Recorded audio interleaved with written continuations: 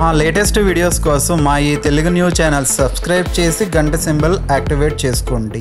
మానవ జీవితంలో ప్రతి ఒక్కరికి కష్టాలు బాధలు ఉంటూనే ఉంటాయి. కొంతమందికి ఆర్థికపరంగా సమస్యలు ఉంటాయి. మరికొంతమందికి అనారోగ్యపరంగా బాధలు ఉంటాయి. కొంతమందికి ఇంట్లో ఎప్పుడూ గొడవలు ప్రశాంతత లేకపోవటం వంటి సమస్యలతో బాధలు పడుతూనే ఉంటారు.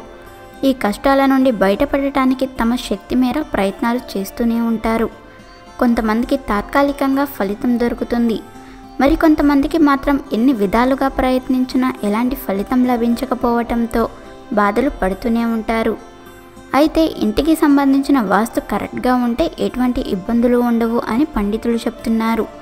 అయితే ఆ సమస్యలను తొలగించుకోవాలి అంటే ఇప్పుడు చెప్పే చిన్న చిన్న పరిష్కారాలను పాటించండి. ఉదయం నిద్ర లేవగానే ఉత్తర దిశ వైపుగా చూడటం అలవాటు చేసుకోండి.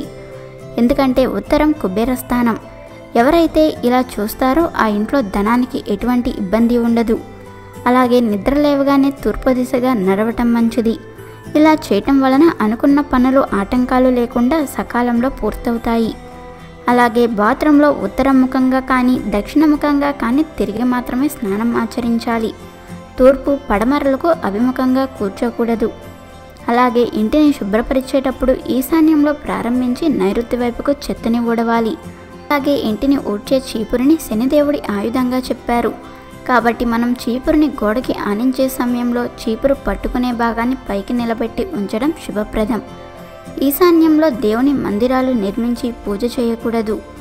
తూర్పు గోడలోని దేవుడి గూడుని ఏర్పాటు చేసుకోవాలి. కనుక మీరు కూడా ఈ నియమాలను పాటించి మీ కష్టాలను తొలగించుకొని ఆనందంగా జీవించండి. వీడియో నచ్చితే లైక్ చేయండి షేర్ చేయండి. బట్ సబ్స్క్రైబ్ చేసుకోవడం మర్చిపోవద్దు.